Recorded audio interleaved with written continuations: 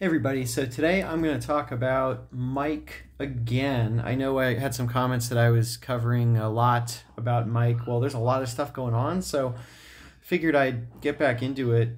So somebody commented on one of my videos that they would really like to see Mike do game reviews. So he does let's plays and live streams, and that's really his focus as we talked about earlier and how I've talked about in a few other videos that I've made. So he really focuses on just playing games and talking about it on these games. And I've gotten a couple types of comments.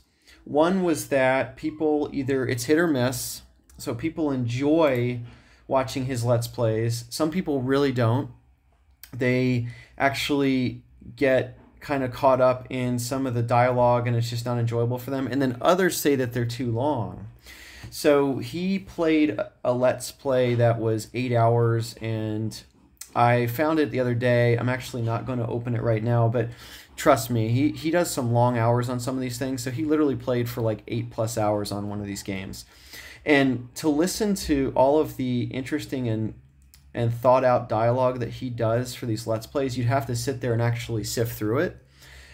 I think, and other folks think as well that would be really great if he got back into his own reviews. So maybe once he's been streaming for a while on his own Steam and working with Aaron, he he'll take some time to restructure some of his videos and playlists and actually have some reviews. So that being said, he's probably not going to use Twitch for that because Twitch he's just doing gameplays. But I would say that one of his YouTubes, I'm not really sure what hit, which YouTube channel he uses as his primary. I'm guessing it's his Mike Matei, uh, 56.2 uh, subscribers. And actually, he he's gone up a little bit since he left James's channel. Once he left Cinemassacre, he was at like 54k subs officially. And within a week or two, he's gone up to 56.2k subscribers. So a little bit of growth there for him, which is great. But he does use his his Twitter and I don't know about his his Instagram. I haven't really looked in a lot of detail there, but his Twitter, he's got more individual thoughts on things uh, in terms of like of individual products, individual games. Um, I'm gonna take some more time to sift through this as well, but he doesn't have, from what I can tell, a formal review section of his social media that he actually looks at games and provides his insight.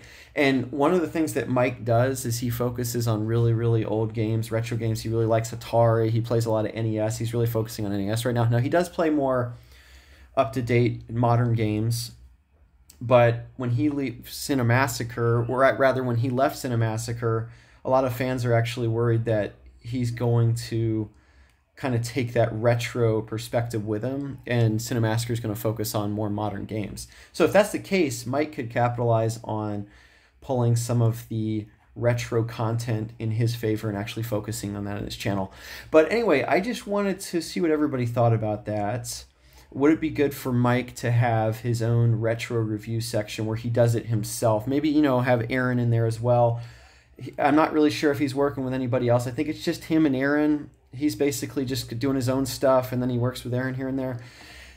But if he were to do these reviews, I think he would get some views. He has people that are interested in watching and let's plays to the amount of time and magnitude that Mike's doing them right now, hours and hours and hours. It's just not for everybody so with his Twitch, people will actually go in and go out and leave and come back. Some people are hardcore and they'll watch the whole time. I would personally just never do that. I don't have that much time.